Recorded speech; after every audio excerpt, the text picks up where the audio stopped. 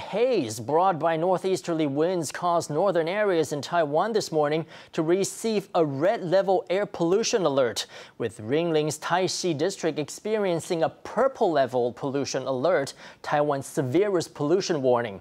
Many people sought to protect themselves by wearing masks.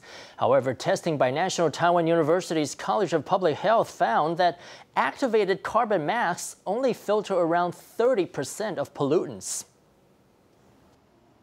The sky is grey and hazy due to northeasterly winds. This has led many pedestrians to don masks, though doctors have warned that activated carbon masks may only have a limited effect when it comes to protection from small pollutant particles known as PM 2.5.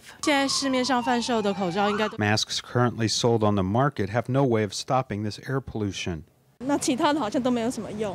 Typical masks are useless. Even using a double layer isn't effective either.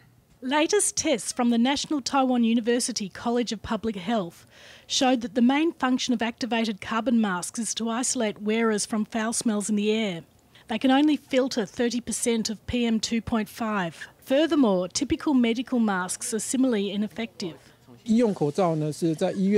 Typical masks used in hospitals are able to fulfill the goal of preventing the transmission of disease, but they have little effect against preventing PM 2.5. Experts recommend the N95 masks as being the most effective, blocking upwards of 95% of PM 2.5.